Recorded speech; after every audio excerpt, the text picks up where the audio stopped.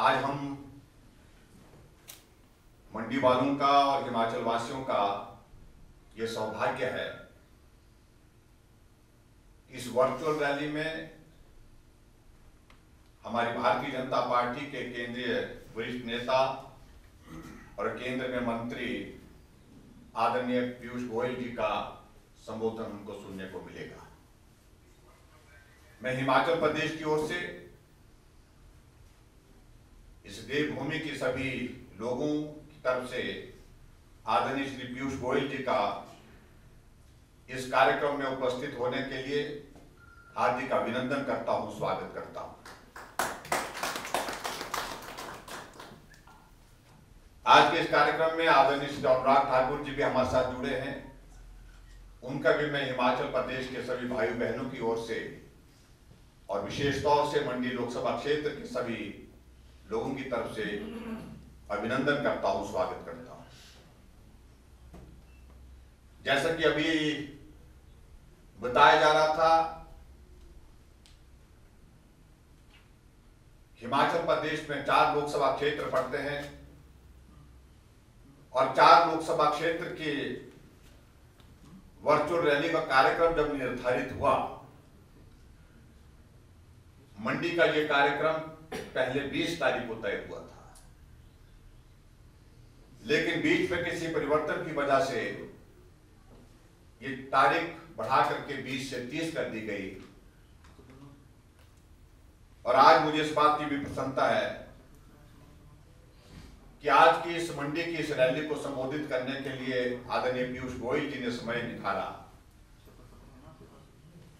इसके लिए मैं उनका बहुत बहुत आभार व्यक्त करता हूँ। मैं बहुत लंबी बात नहीं कहूँगा क्योंकि आज ठीक चार बजे हमारे देश के यशस्वी प्रधानमंत्री नरेंद्र भाई मोदी जी का राष्ट्र के नाम संदेश है। हम सब लोगों को वो भी सुनना है। पिछले एक अरसे से हम एक अलग परिस्थितियों के दौर में से गुजर रहे हैं। कोरोना वायरस जो आमतौर से आँखों से देखा नहीं जा सकता है।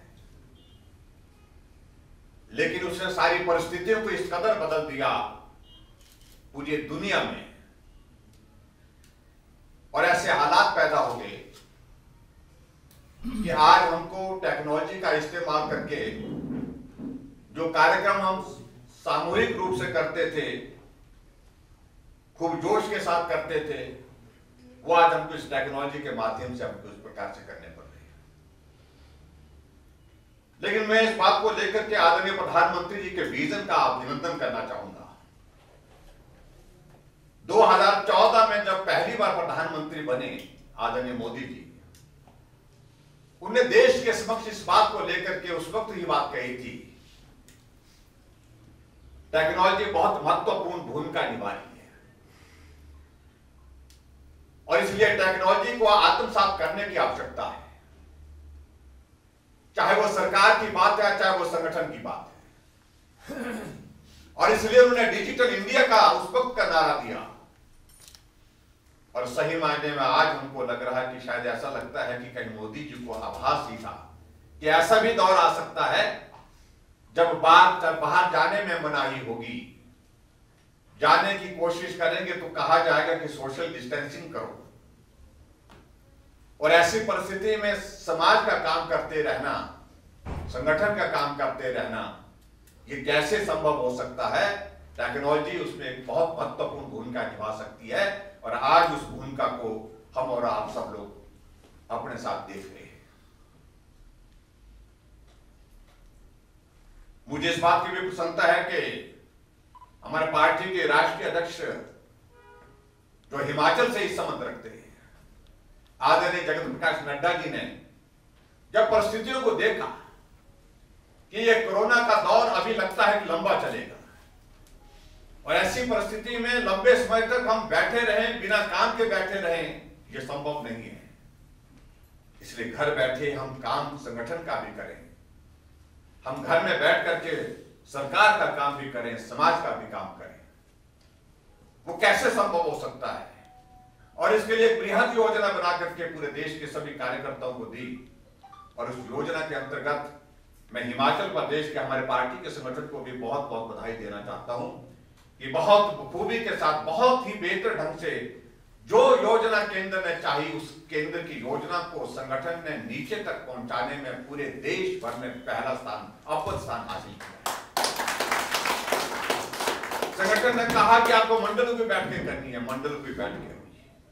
संगठन ने कहा है आपको, कहा कि आपको बूथ की बैठकें करनी बूथ की बैठकें हुई संगठन ने यह कहा कि आपको पन्ना प्रमुख तक पहुँचना है तो पन्ना प्रमुख तक पहुँचे।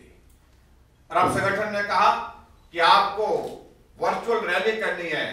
अभी हम युवा मोर्चा, महिला मोर्चा, किसान मोर्चा, अनुसूचित जाति मोर्चा, सभी वर्गों के, सभी मोर्चों की रैलियाँ करके समाप्त हुए हैं।